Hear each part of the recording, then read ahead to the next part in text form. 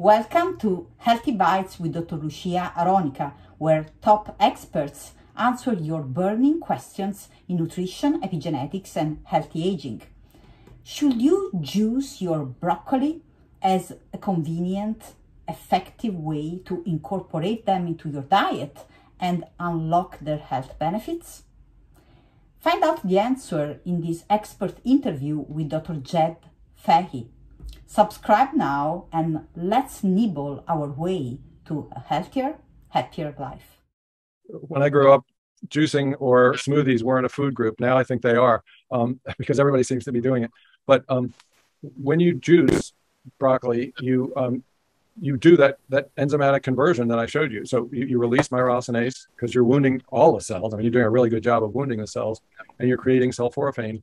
And excuse me, um, so that absolutely releases it, and that's fine.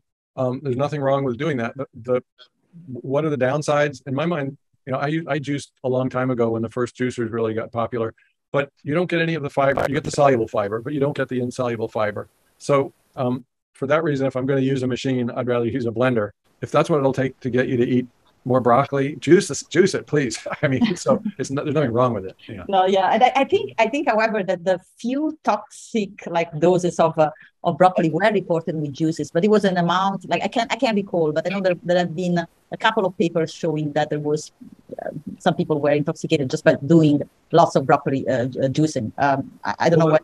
Well, I mean, that, that, sorry to interrupt, but yeah, that's the danger with you know the danger of overdoing it with I would say juicing and drinking a lot of it, or or with seeds, um, is that you could you you could probably get too much of a good thing.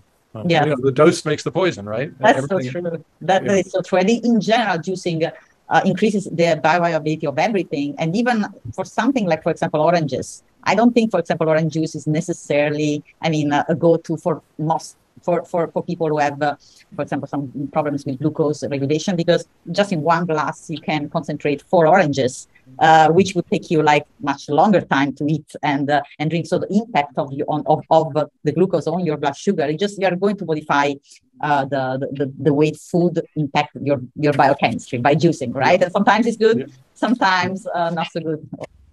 Hey, would you like to know how food can be medicine for your genes? Get access to my free webinar using the link in the video description. You will find out how your genes can learn from your lifestyle choices and how you can teach them to unlock their full potential. I hope you enjoy the webinar and if you do, please make sure to comment and share.